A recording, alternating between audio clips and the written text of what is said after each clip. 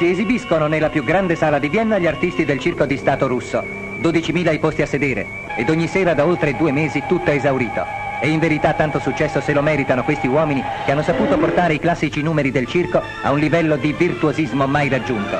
È di scena Vanda Ivanov, la trottola umana. È arrivata all'attuale perfezione per gradi. Ha cominciato, graziosa com'è, a far girare la testa agli uomini.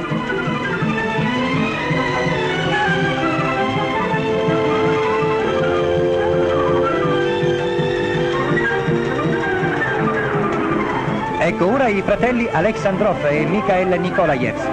Sono riusciti a fondere il brivido dell'acrobazia con la grazia di un aereo balletto.